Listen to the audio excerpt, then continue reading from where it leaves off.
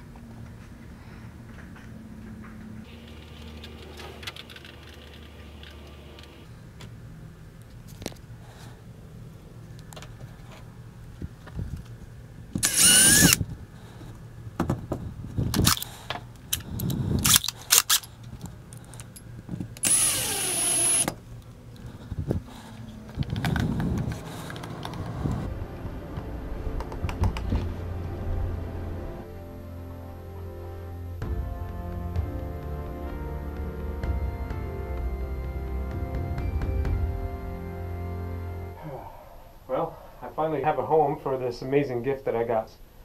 And uh, recently I've also gotten some other pretty cool gifts. Around Thanksgiving time, I got a card from somebody, and you can see they drew in a sheep's head.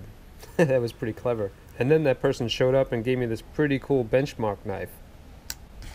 This next package that showed up had some gifts obviously sent by somebody else out there who has long hair. That's pretty neat. And I apologize to everybody who has sent gifts that didn't make a video. This book here I bought from a fellow YouTuber who constantly entertains me, and that kind of feels like a gift too. Thanks, Courtney. I am very fortunate to have such generous people watching me on YouTube, and it's a pleasure to share my life.